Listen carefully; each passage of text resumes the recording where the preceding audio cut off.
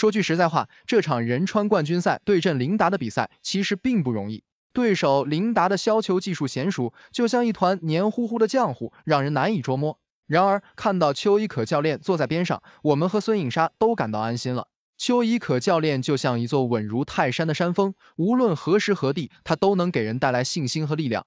他坐在那里，就仿佛是一道指引的光芒，照亮了莎莎前进的道路。这场比赛中，虽然中间出现了一些小插曲，但都被他顺利的解决了。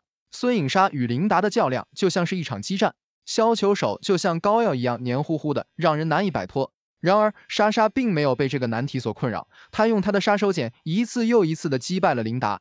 每一次她把球扣过网时，我们都能看到她的决心和毅力，这就是她的独特之处，这就是她的魅力所在。在这场比赛中，有邱一可教练的陪伴和指导，孙颖莎可谓是所向无敌。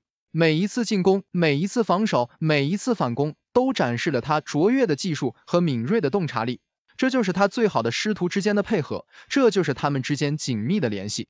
这场比赛虽然艰难，但有邱一可教练的陪伴，我们有信心孙颖莎能够取得胜利。让我们为孙颖莎加油吧！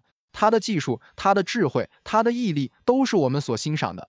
在接下来的比赛中，我相信他会继续展现出自己的实力和魅力，取得更多的胜利。而邱一可教练的存在，更是给予了我们强大的信心和力量。他们的配合，他们的默契，他们的智慧，都是我们喜欢的。最好的师徒莫过于此。在这场比赛中，我们看到了孙颖莎的成长和进步，她的技术越来越精湛，战术越来越丰富，心理素质也越来越强大。有邱一可教练的陪伴，他不仅在技术上得到了提升，更在精神上得到了锻炼。